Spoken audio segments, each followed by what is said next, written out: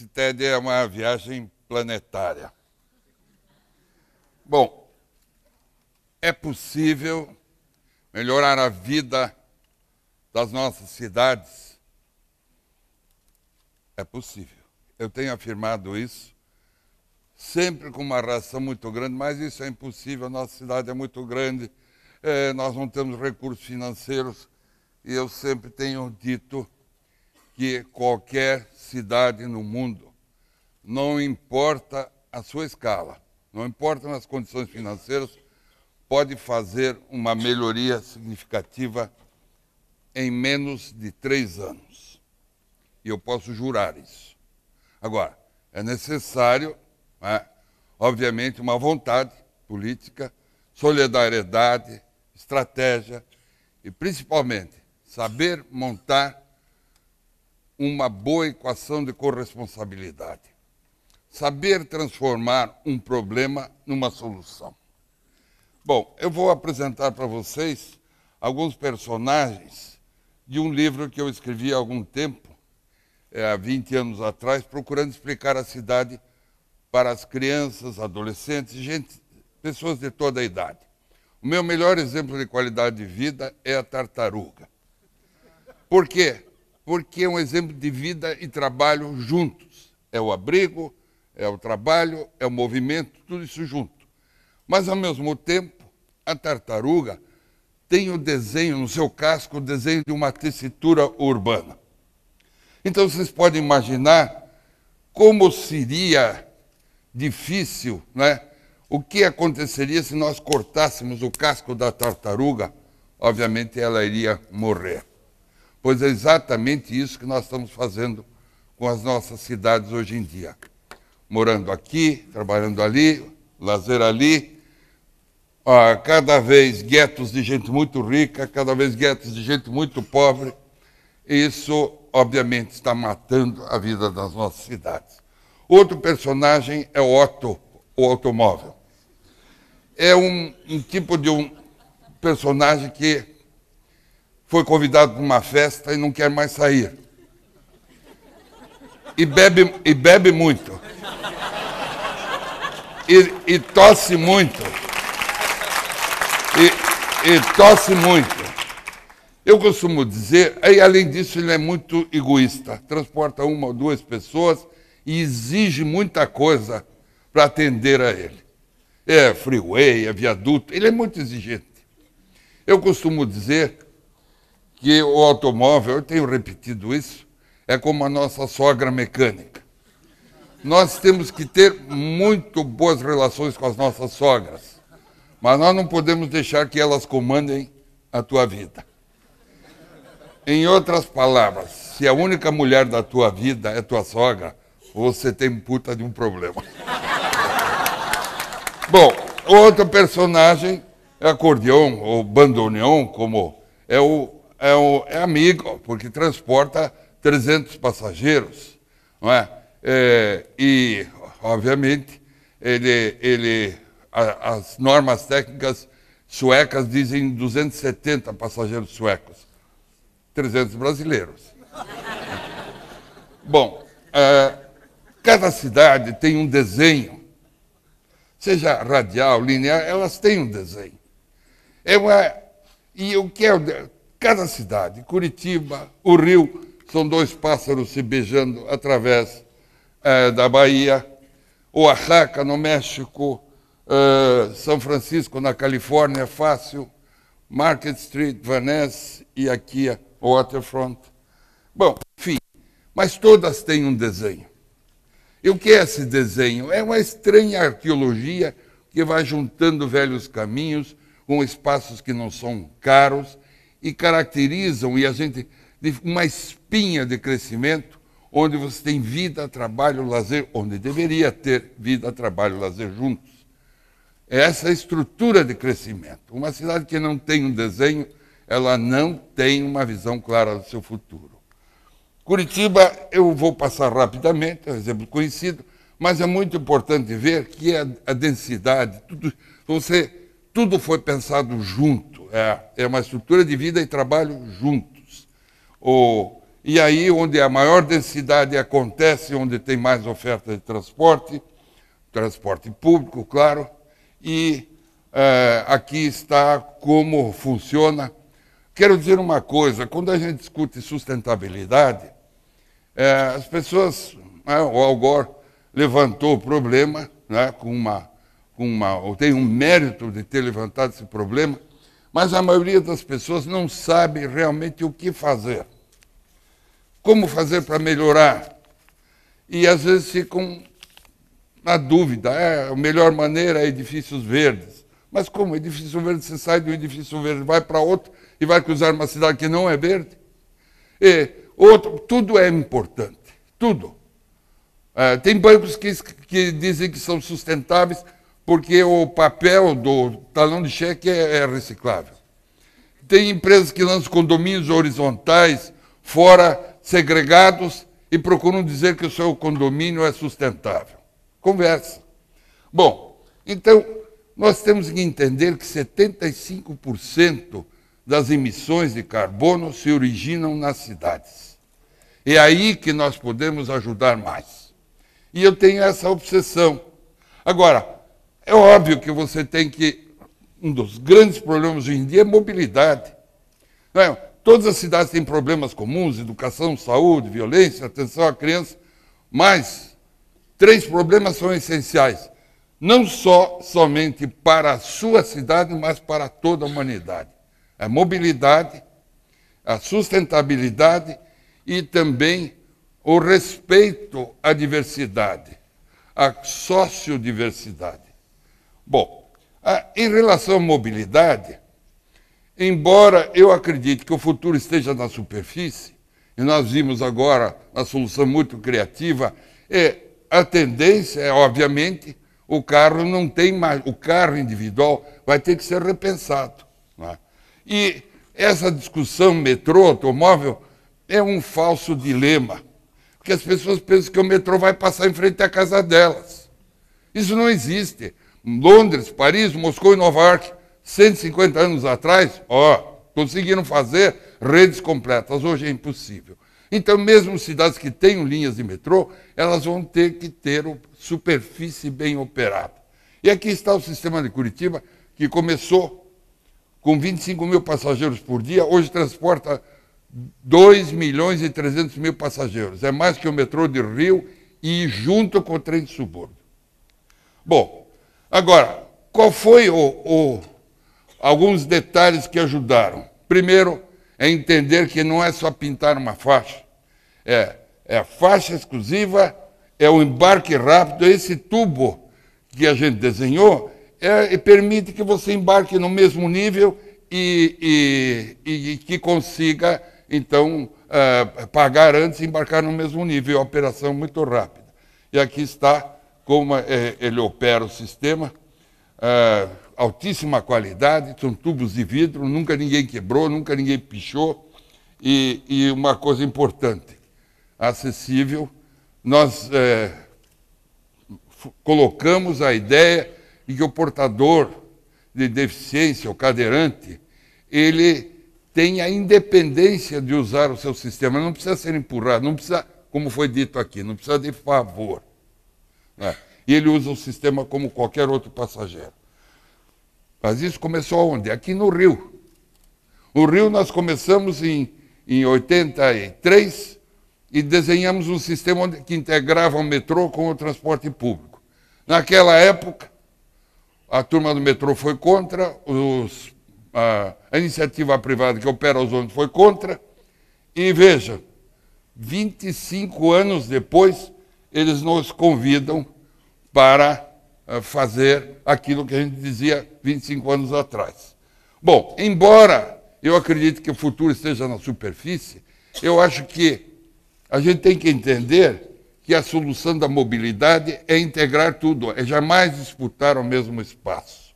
Ou seja, é, o metrô tem que ser um metrô esperto, o, o ônibus tem que ser um ônibus esperto, o táxi tem que ser esperto, a bicicleta tem que ser esperta, como a de Paris, onde a bicicleta é um, é um transporte público.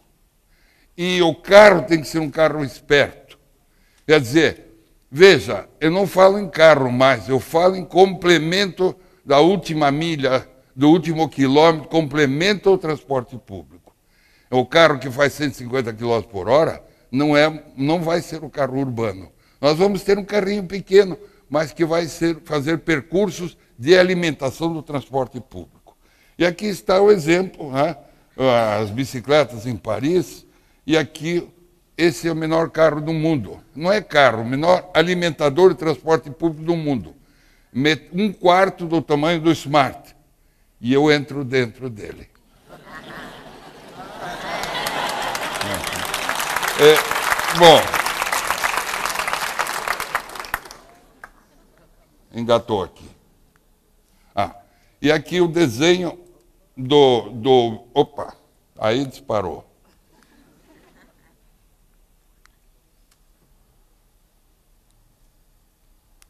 Bom.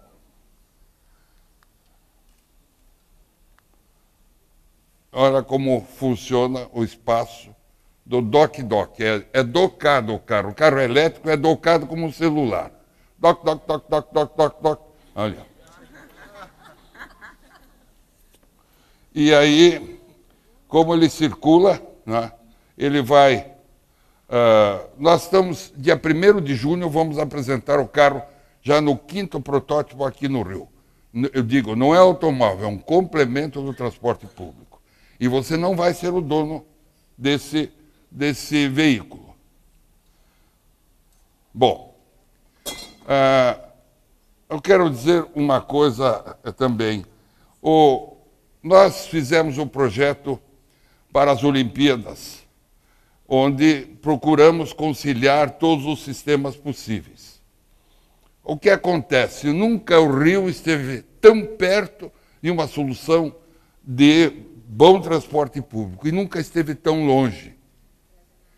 Porque nós conseguimos convencer o Comitê Olímpico da, que isso resolveria o problema. E o que acontece? Faz seis meses que eu não consigo uma reunião com o governador, o prefeito e o Comitê Olímpico conjunto para definir de uma vez por todas o sistema. Peço encarecidamente a esses senhores que se reúnam, não precisa se reunir comigo, que definem o sistema. Aí são excelentes, excelentes pessoas e excelentes administradores. Apenas quero que eles se reúnem. Fale com a gente. Bom, aqui a ideia de como alimentar, claro que esse sistema evoluiu. É, você sai aqui está a maquete, você sai é, do ônibus e vai para o mezanino da estação de metrô e, e olha o que seria uh, uma estação assim, em vidro, iluminação em LED. E, claro, não será colorido durante o dia, porque o rio não é nenhuma Xangai.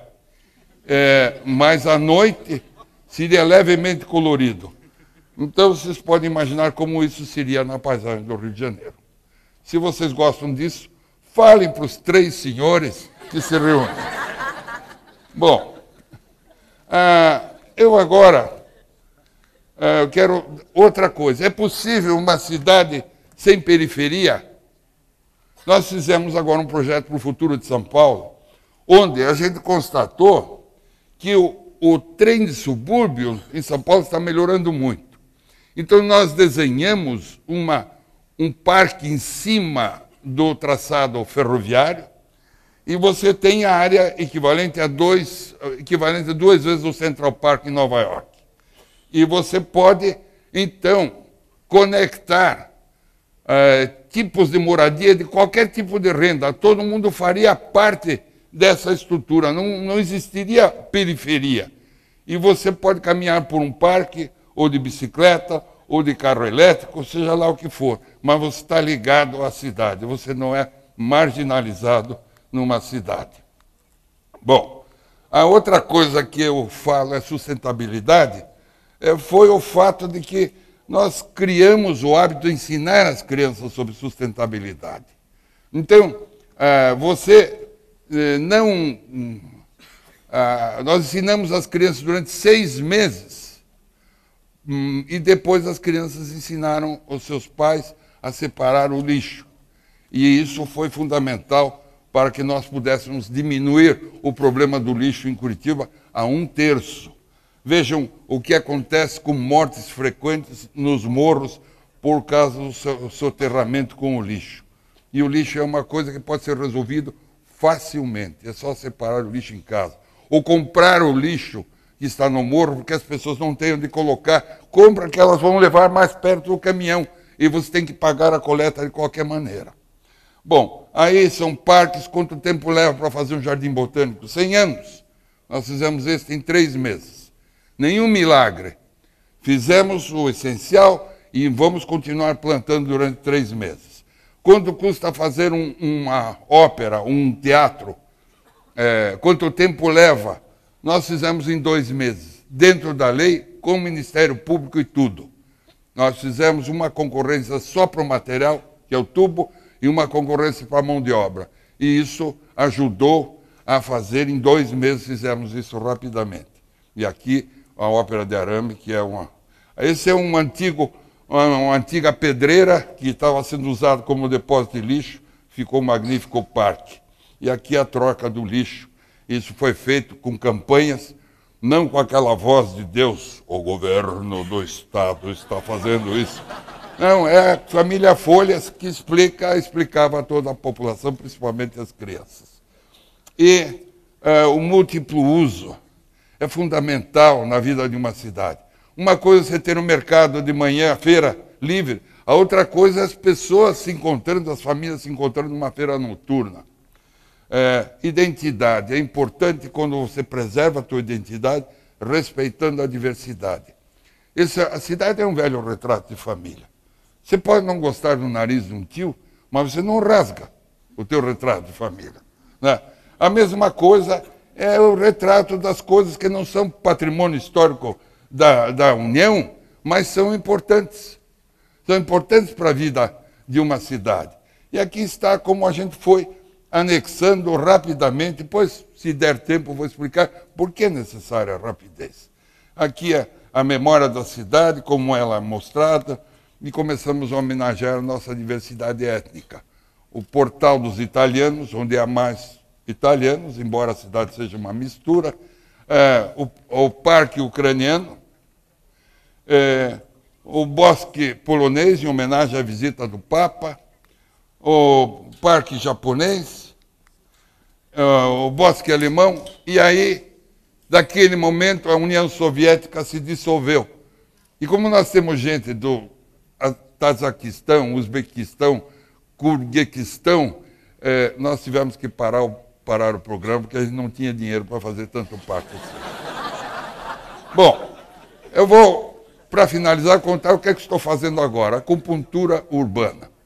O planejamento de uma cidade toma tempo, mas é necessário, às vezes, você agir rapidamente, focalmente, que eu chamo, e criar uma nova energia na cidade, que eu chamo acupuntura urbana. A acupuntura mais genial é do IMPEI, no Louvre, esse gesto, essa pirâmide que transformou, que que com esse gesto resolveram problemas de séculos. Ou, não precisa ser grande, esse é o menor parque de Nova York, é o mais bonito. Fica na East 53, é o Paley Park, tem 13 metros por 32. E aqui o genial Museu do Oscar Niemeyer, em Curitiba, o Museu do Olho.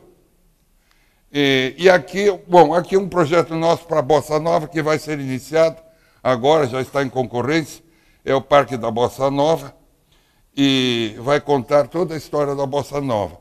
E é um teclado com o doce balanço do mar. É, e aqui, uh, detalhes disso, eu vou passar rapidamente. O Museu da Mobilidade, nós fizemos a pedido do Fittipaldi. E isso é, é a velocidade congelada, né, esse desenho. Ah, o museu é isso, é uma estrutura é, muito arrojada, mas que procura é, contar a história e todos os componentes de mobilidade. Da sustentabilidade é através de jogos explicar às crianças como se dá isso. É, aqui uma outra acupuntura na bomboneira, vestir o estádio Boca Juniors, com, é, dando mais capacidade e mais segurança. É, não, não está acontecendo porque o, pre, o presidente Boca Juniors assumiu a, a prefeitura e o, o, o, que sucedeu ele no, na, no Boca Juniors não, não, não, não está realizando. Bom, é, o que eu quero ressaltar uma coisa, às vezes as coisas são muito simples. Essa é uma proposta que nós fizemos para o centro de São Paulo, para Cracolândia. Um lugar decadente, as pessoas não querem viver. Você tem que trazer vida. E, e como é que as pessoas vão viver né, ali? É importante que as pessoas voltem a viver. Mas como é que eles vão viver ali se não tem, não tem atividade? Então nós bolamos uma rua portátil que você coloca ali numa sexta-noite e remove numa segunda-feira e durante a semana põe em frente uma universidade. Esse é o projeto que nós fizemos para Brasília, como conciliar o traçado formal do plano piloto com o traçado com uma forma para cidades satélites. E é uma analogia entre as duas metáforas. Uma em torno, o, a, o avião em torno do lago e esses pássaros que são os fundos de vale onde nós estamos propondo a ocupação é, das cidades satélites. E aqui as ruas portáteis seria o único bulevar de Brasília. Aqui o Parque Burle Marx em Brasília. Vejam, o genial Calatrava projetou em Valência um Ombractum, que é uma obra. Ele é um gênio. Ah, mas às vezes um gênio caro. Como é que se pode fazer uma praça de sombra que seja barata? Um buquê de bambus. Nós temos um arquiteto na nossa equipe que entende tudo de bambu. Ele sabe quando o bambu está deprimido, ele sabe quando pode cortar o bambu, e aqui nós projetamos esse buquê de bambus. Ou a antiga cisterna é, em, em, Cuiabá, hoje é um museu, é, em Oaxaca queriam.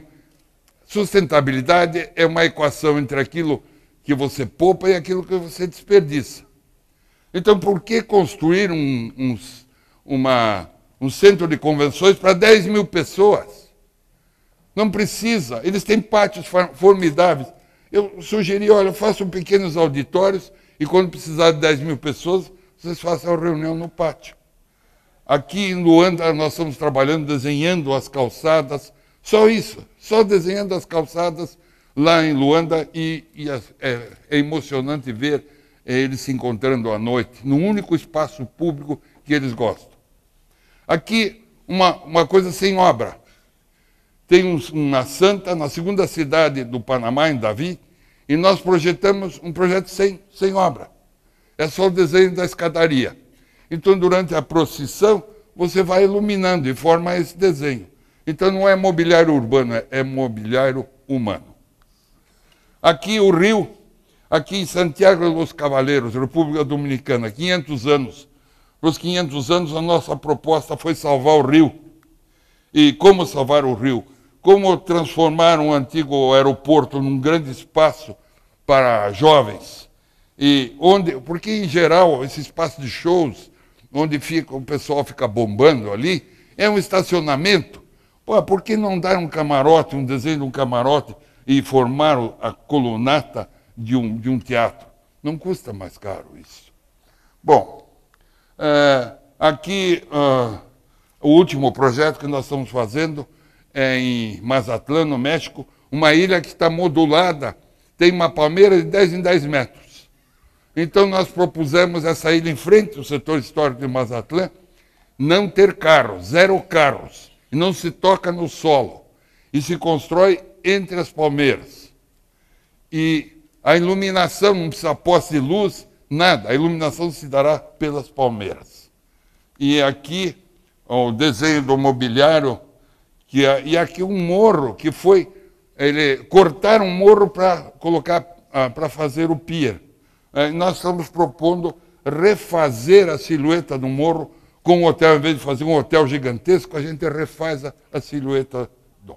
Bom, para finalizar, esse é o mobiliário urbano baseado no Buquinista de Paris, mas é um, é um módulo. Esse módulo serve para muita coisa. E a nossa proposta para o porto, botar uma rua portátil no porto. Enquanto não, não decidem o que fazer, vamos usar o espaço magnífico. Ou na Lapa. E essa rua portátil eu fiz. Nós fizemos um protótipo. Está é, é, é, tá resolvida. É, um, é uma, uma, vitrine que você pode ter ali uma lanchonete, como pode ter uma loja Prada. É, de qualidade. Bom, esse é um, um hotel, uma estação de descanso no aeroporto, onde você. E aqui, meu sonho: o homem tartaruga, eu carregar a casa nas costas. Está ali, ó. E eu é, tá desenhado, detalhado, eu, eu vou fazer isso ainda, mas a ideia já é mais ou menos esta. Bom, para finalizar, 1997 nós fizemos os Jogos Mundiais da Natureza, no Paraná.